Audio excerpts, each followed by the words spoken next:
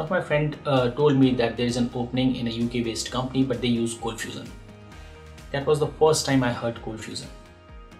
I looked at it and I was uh, I was amazed like you know how easy it is. Uh, I should have done this earlier.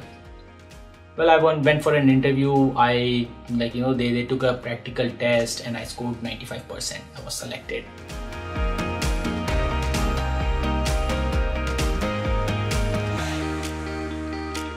The first application I built uh, using ColdFusion MX6 and that was for loyalty program like you know that that UK based company was uh, used to work on that loyalty programs. In 2010 I was working for uh, Oregon State uh, in United States and uh, they had to convert an application to ColdFusion and my, my project manager uh, called me and said that uh, we have just one month to convert this uh, application. Well i looked at the application and uh, i said we will build it in ColdFusion right? And he said yes. And i said well it will just take 10 days then. And he was like totally amazed.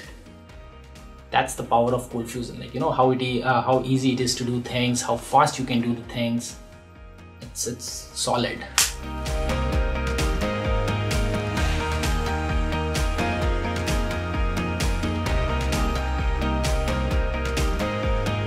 I have been developing ColdFusion applications for 15 plus years now.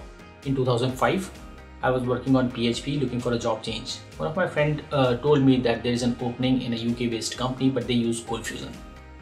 That was the first time I heard ColdFusion.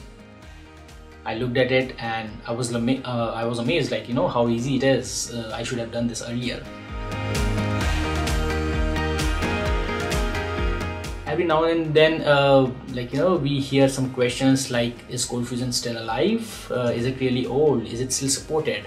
Well it's our responsibility to uh, educate uh, whoever is asking such questions and show, show them like you know what the ColdFusion have become. It's it's a awesome product uh, which which helps you build uh, you know super solid or big applications in pretty record time. We need to ask them to like you know check out coldfusion.adobe.com and our slack community